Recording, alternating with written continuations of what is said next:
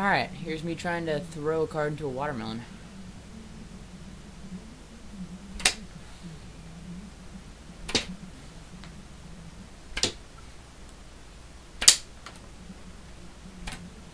There we go.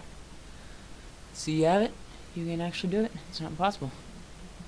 Let's try it again.